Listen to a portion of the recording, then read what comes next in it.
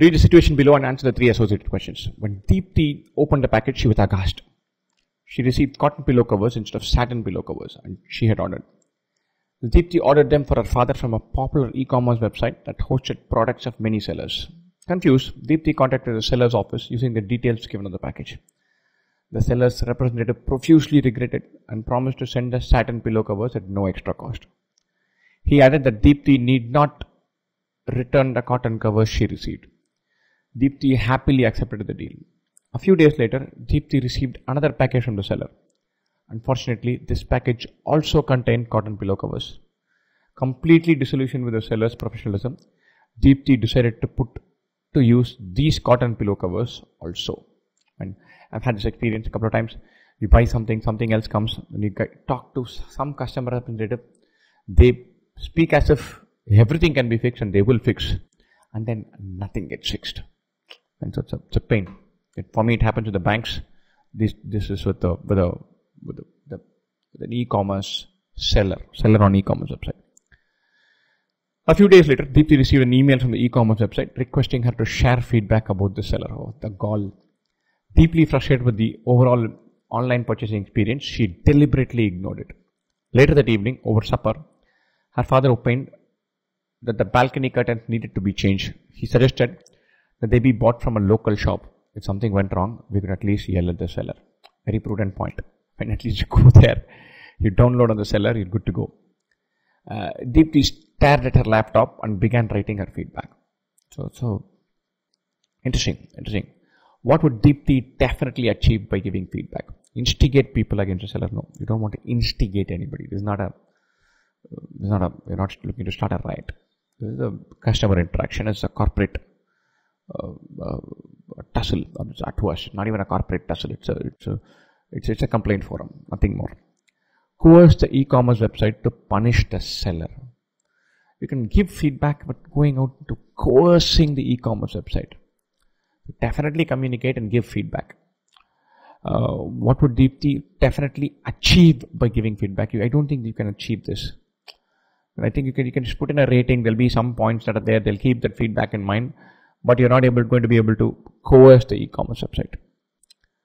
Uh, what would Deepti definitely achieve? An act of social service. Uh, you write a complaint against a provider of pillow cases. You want to call it social service. All of us will be great giants, but it is not what it is. And so we should be clear about it. So it, it, it does help the community. Good feedback does help the, help the community. Uh, this is a purchasing community. This is making sure that the the, the, the marketplace is clean and, and, transparent and honest and has high integrity. There is a lot of good that people who write detailed feedback go bestow on the entire community. No doubt about it. Uh, but writing one feedback email when you're frustrated, uh, I don't think you're achieving uh, social service, an act of social service. And so it, it maybe if not no other choice works, I'll go for this. But I'm not such a fan. You're over. You're really. I won't say insulting, but putting down social service by saying one email is social service. Release her frustration. This will happen.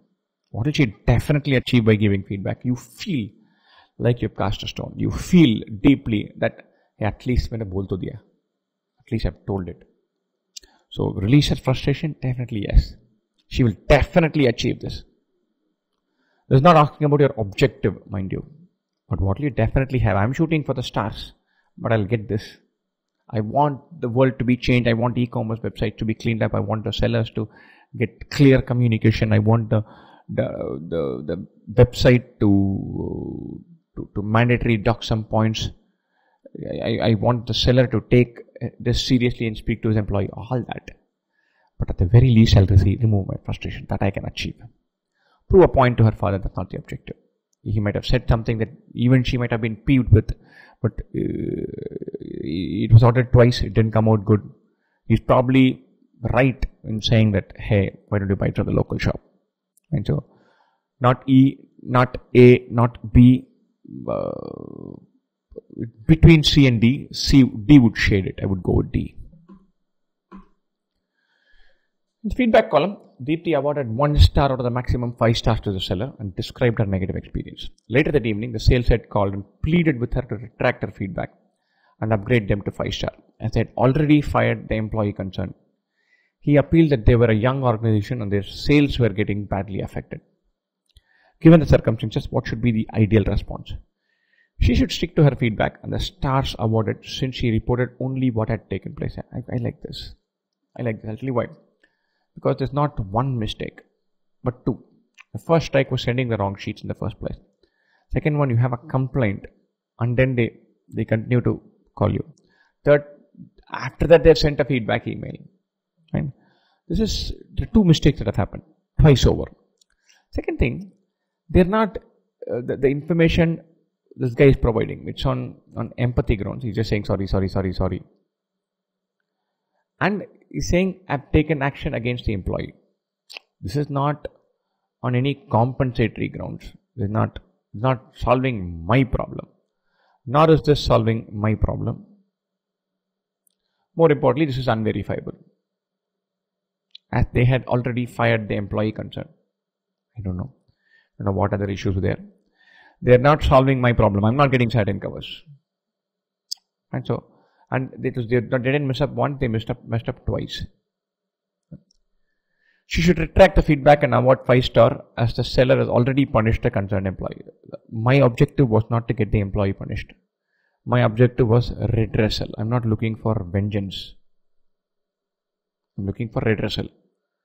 And if they had not gotten them fired but fixed my problem, made my life better, simpler, then there's something something to go with. Suppose you go to a restaurant and and uh, there's something something the issue with the food a decent restaurant will say, okay, sir, ये ये पूरी अच्छा नहीं है आपको नया वाला plate दे देता हूँ they come and give it to you you feel nice especially if the second one is good replacement is good uh, you go okay there was an issue this is not good okay I told him and then five minutes later it has been replaced he says oh this is not good I will fire the cook sir doesn't work they fire the cook or not fire the cook and get a new cook it does not solve my problem I'm looking for redressal not vengeance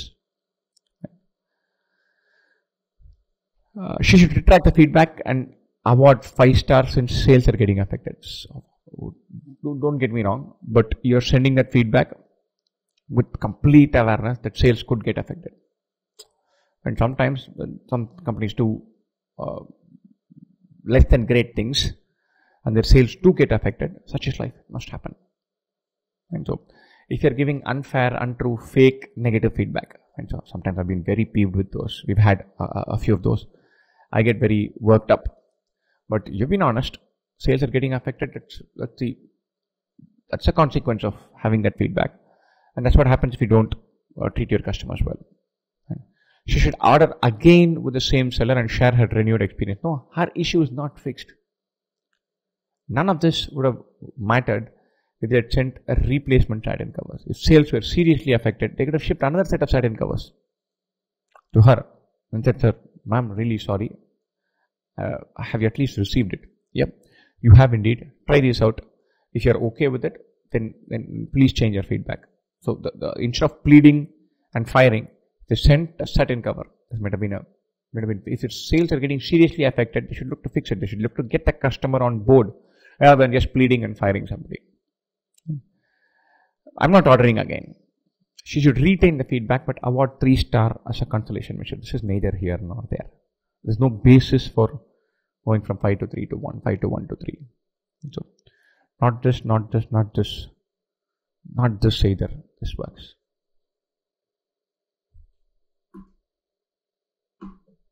After a few months, the sales head inquired, in case you're using the cotton pillow covers and like them, kindly rate them on the e-commerce website. It'll help us serve our customers better. Later that evening, her father remarked, You know, I really love these pillow covers, though I'm not sure why you bought so many of them. So they want satin, but the cotton ones are actually working better. And she was peeved because the cotton ones, the, the satin ones, they messed up. They sent cotton twice over. Let's look at this, which is the following reasons gives Deepti the best rationale to ignore the sales request. Acceding to that request benefits just a seller, while her sore experience remains. Uh, not necessary. You accede to the request, and then your sore experience is you're, you're, you're holding on to the fact that you've been shipped the wrong set of covers and you're not getting a good experience. You, you accede to this and say, look, this is fine. there's a there's a decent chance that your feeling about this whole pillow buying experience improves. The experience of getting the the, the cotton cases can't be changed. But the, the, what you feel, you feel cheated, you feel like you, you've, uh, you've got the, a, a, poor product, that'll go away. You feel, you'll feel look, look, the cotton thing is good. Ah, yeah, yeah, good, okay. So I, I, I, I was not cheated. I was just given the wrong product, which actually, as it turns out, has actually been a decent product. So I won't say it, it is, it benefits just a seller. And so, uh, her sore experience of having got the wrong product will remain, but her, her feeling toward that, that experience that could be heavily mitigated. Cotton pillow covers were delivered erroneously, hence the seller does not deserve appreciation. Mm, yeah, but but they're working. They seem to be working, and so uh, that is. I, I wouldn't count. If the cotton pillows are working fine, then you can accept, you can concede the fact, you can completely state, reiterate the fact that they sold the wrong product twice. Uh, but saying the seller does not deserve appreciation. This mistake was done but they are working fine. And you have already punished them for or conveyed that you are displeased with this. So maybe you can still change it. Not just there's not sufficient ground for ignoring the sales request. Acceding to the request will imply that she was wrong in ordering satin pillow covers in the first place. Of course, but there's nothing wrong with that. Yes, yes, it'll mean that you should, have probably ordered cotton covers, but there's nothing wrong with this. Why is that uh, saying, okay, I wanted satin, but turns out cotton is better. Good. So accepting that you were wrong in the first place might actually be a very good thing. So not this. It's not even that she's going to be punished over it or she has to face judge and jury. I don't mind. She'll probably say, oh, yeah, I got this one wrong. Might as well send the guy an appreciation mail or change the uh, feedback and accept the fact that maybe from next time around I will order cotton instead of satin.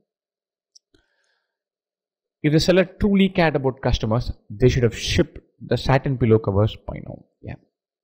They shipped the cotton ones once. That didn't work. I complained. They shipped it second time. So they made a mistake twice over. And then they called and pleaded with me to, to change the review and said they fired the employee. Would been far simpler to ship satin covers and then say, ma'am, I've shipped the satin covers. Sorry about this. I'm also sending you a link. We've already we've given you three sets of covers when you had bought only one. We'll definitely give you one for free. If the cotton covers are working fine, you might perhaps want to pay for it. I would have loved that. So they're not losing out. I'm getting my satin. They're they fixed the issue. And then I feel good about giving them the money for the one set of cotton covers. I'm getting the other for free anyway. A lot of the problems, this is a customer service issue. The, the, the, the if as a provider, you can ask for feedback, review, uh, good news, improvement, rating, all of that only after you have fixed the problem. So you fix the problem and then the customer gets happy. The problem here is not even the quality of the pillow covers. The problem here is I ordered for satin, I've got cotton. Not once, twice for the same purchase. And so Uh, the, the, the, the company is unhappy and the customer is also unhappy. The company is unhappy because they've shipped two cotton things. And Only one is one they've got paid for. Customer is unhappy because she didn't want cotton in the first place. So the, the, the issue from both ends gets, gets fixed. She then gets the satin things. And then you send her an email saying, look, ma'am, we've shipped the satin ones to you. Shipped you two cotton covers. You're using them and they're all right, would you, would you mind paying for one? She'll probably be thrilled to pay for one, change her review, have a good feeling, continue to order with them. Everything gets fixed. I think that in this experience, shipping the satin cover is the crucial piece of jigsaw. I think that will that would have changed everything. That would have been uh, that is the customer expectation, whether it is stated or unstated, doesn't matter. So I'd go for this. Or I like this at least. Her review will lack credibility since there is no proof that she purchased the product. Not necessarily. I have reviewed on Amazon a few things that I have not bought from Amazon. And I, I, I like the product. I picked it up from somewhere. I wanted to convey to the seller, the producer, the manufacturer, the, the people who are handling it. That was a good product. I find the best place to review in is always Amazon. I go there and say, look, I like this. Uh, it's true, it's honest, so I don't worry about the credibility of honest stuff. And so, a well-written review, you can distinguish it from a from a fake review. You just go through it, you'll be able to figure out. And so I, am I'm, I'm, not sure it will credibility. Several purchases that are made on the e-commerce platform, they are fake. It's an important factor. I don't, I don't decry it. People who have actually purchased from the e-commerce thing have a that little bit higher stake in giving feedback on that platform. No doubt about it. But uh, it's not the only criterion. It's not like we have not made the purchase. Uh, there's no proof that you purchased the product. Therefore, there's no credibility. It doesn't work like that. And I would go for choice D. Especially because we want the best rationale to ignore the sales set request. The best rationale is this.